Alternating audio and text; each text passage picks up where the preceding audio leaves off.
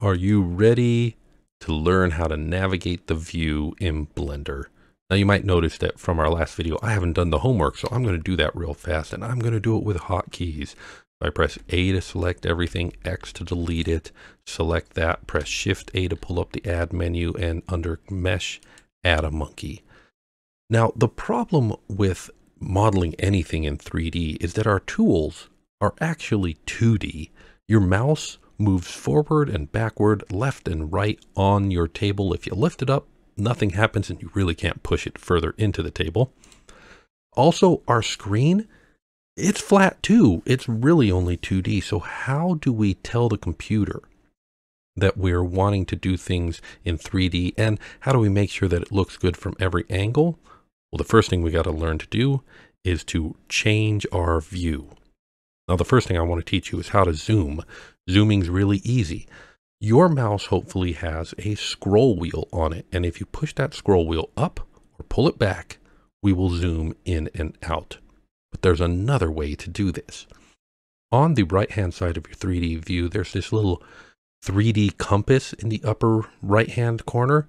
And if you go down from that, there's a icon that looks like, well, it looks like a magnifying glass. If you click it, nothing happens. But if you click and drag on it and move your mouse up and down, that's how you can zoom with that. But there's another way to zoom. So go up to the view menu into 3D view. View, go down to, uh, I believe it's, is it align view or is it nav navigation? There it is. And then there is the zoom in and zoom out. Notice that the hotkeys for those are numpad plus and numpad minus. So I'm just going to come over to my number pad. If you have a number pad on your keyboard, if you're not using this on a laptop or something and you have a number pad, then you can hit plus and minus to zoom in and out. And in fact, that number pad is going to be super useful later on for navigating the view. Almost all of the number pad is used for the view in Blender. But let's talk about the next idea. The next idea is orbiting the view or being able to look at things from different angles. Now there's a lot of ways to do this. The easiest of which is probably just that 3D compass in the upper right hand corner. If you click and drag on it, we will be changing our view all over the place. Look from below and from above and from the left and from the right and behind it. You can change the view with that compass. Super easy. But there's another way. On that mouse, that scroll wheel that we talked about earlier, it's actually a button. So if you take and click and hold that button down and move your mouse around, you can orbit the view. And I like this method because it works no matter where your mouse is. But there's another way. Go up to the view menu.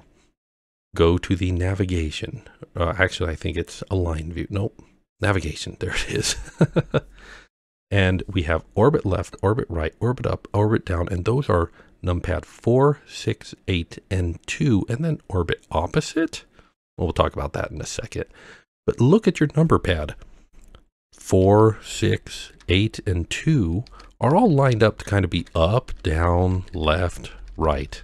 And notice that when you orbit with the number pad, it doesn't orbit smoothly. It kind of jumps to these various angles. And that can actually be super useful in certain circumstances. But for now, just want you to know that it's a possibility.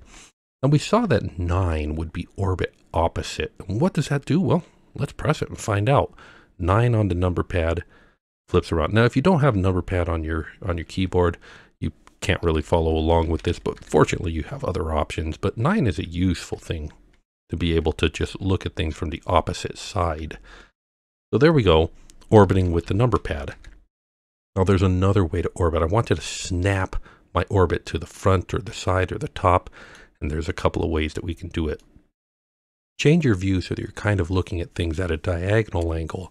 And then look at that 3D compass. You notice how there's X, Y, and Z on it. And if you go opposite the X, it says negative Y, negative X, negative Z. If you go opposite those buttons, we'll click on one of them. Let's click on the X. Boom, it snaps to the side. And Z snaps to the top. And Y snaps to the back. And if you click on Y again, it snaps to the front. If you click on X and then click on X again. Of course, you can jump straight to the, like the bottom view by clicking negative Z if you can see it. And if you can't see it, you can orbit that view a little bit to where you can see it, or you just click it again. You'll get there. Now there's another way to do it, and this way is super tricky. So reorbit your view so that you're at a kind of diagonal angle again. And let's go up to the view menu. View, viewpoint, and then uh, forget about camera. Top is 7, bottom is control 7. Front is 1, bottom is control 1 on the number pad. Right is number pad 3, left is control number pad 3. Let's try those out. 1 on the number pad. Front view, control 1. Back view, 7. Top view, control 7. Bottom view, 3. Side view, control 3. Other side view. Now, 1, 3, 7, those might not be as easy to remember. Their positions on the number pad uh, kind of make sense. Seven's kind of above, and 3 is to the side, and 1 is, well, 1 is there. But it might be hard to remember those. However, that's going to be our homework. But we're not done yet because we need to talk about panning our view or being able to move something out of the way so that we can look at something off to the side or behind it. And how do we do this? Well, there's multiple ways to do it. One way, under that 3D compass, the second button down looks like a hand. Click and drag that hand and we are now moving the monkey to the side and focusing our view somewhere else. Notice now if we rotate our view, the monkey is not in the middle. So we can click and drag our view and move it around and look at other things. Next, or another way to do this, is we go up to the view menu and we see that we have navigation and it's called panning, pan left, pan right. So it's done with control number pad so control number pad 4, 6, 8, and 2 allows us to pan view. And again, it's doing that by that, you know, kind of jumpy motion, but it, it works. Now there's another way to do it. Hold down the shift key on your keyboard and click and hold that middle mouse button, that scroll wheel, and drag. And I like this method because it works wherever your mouse is. But this is a quick way to pan your view around. But notice again, we're not centered on our monkey. So what if we want to recenter on our monkey or center on whatever? Well, here's how we do that. Click Suzanne, go up to view and go up to, where is it? Frame selected. There it is. It's number pad period. So the period key on the number pad. So I'm just going to try that. Period key on the number pad centers our view on Suzanne. And if we rotate our view, Notice it's centered on Suzanne now. Now, you might have noticed under view, there's also uh, frame all. If we had multiple objects in the view, we could hit the home key on our keyboard and it would frame all of them together. But right now, the only thing we have is Suzanne.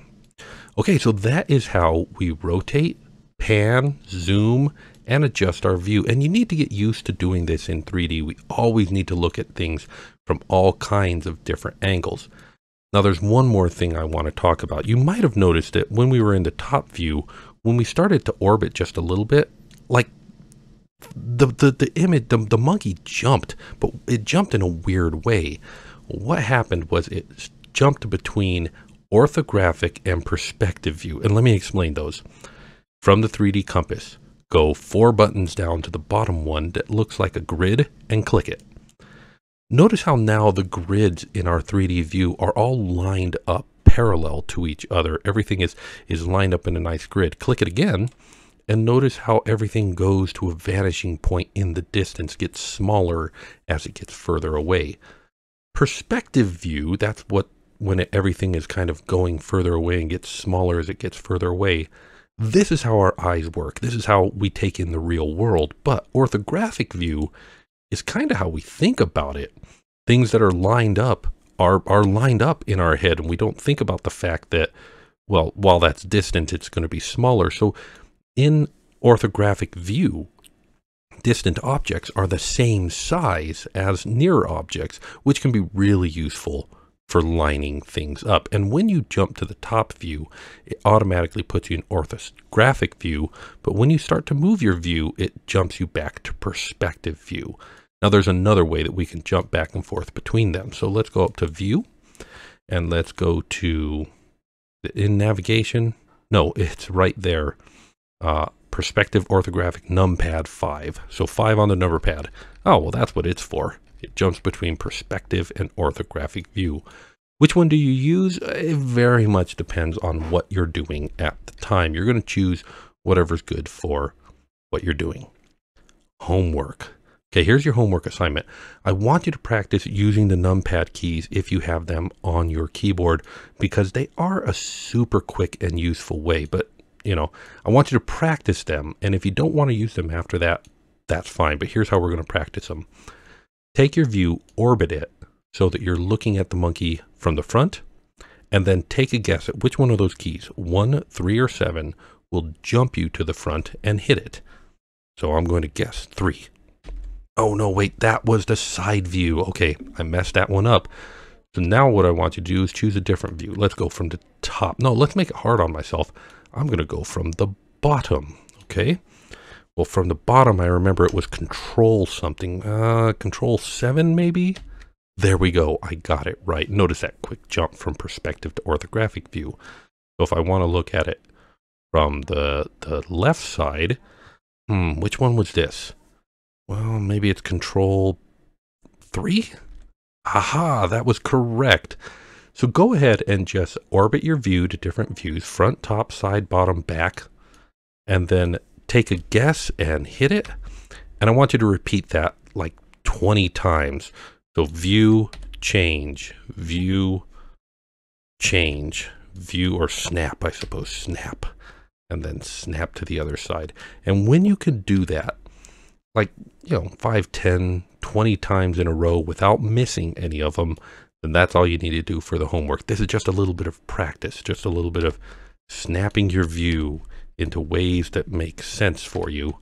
Now, if after using this you're like, you know what, this is just isn't for me, that's fine. But I want you to practice it a little bit because it is a very powerful tool to know which one of those keys to hit and to be able to hit them quickly. But that's all for today. I want to thank you very much for watching. And I want to remind you that you are a child of God and I care about you a lot. So take care of yourself and I'll see you in the next video. In the next video, we will talk about taking objects into view and moving them around. So see you then.